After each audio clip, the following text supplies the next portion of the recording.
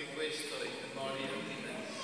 Che si sono addormentati nella speranza della risurrezione e di tutti i defunti che affidiamo alla tua clemenza, ammetti di godere la luce del tuo volto. Dio di cui ti abbia misericordia, donaci di avere parte alla vita eterna